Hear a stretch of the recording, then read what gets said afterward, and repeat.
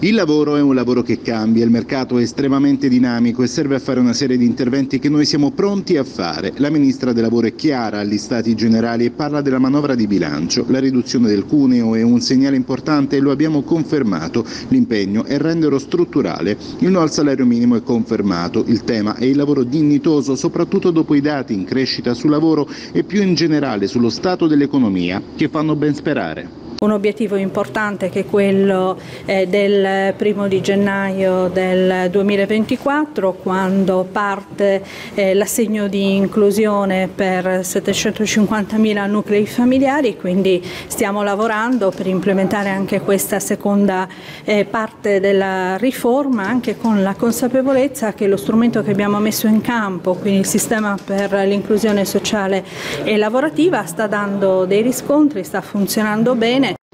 All'evento anche il segretario Cisle sbarra. Nella manovra ci sono molte luci, ma spero che il governo torni sui suoi passi su alcune misure in materia di pensioni. E sullo sciopero della CGL Will dice non condividiamo, ma rispettiamo scelte.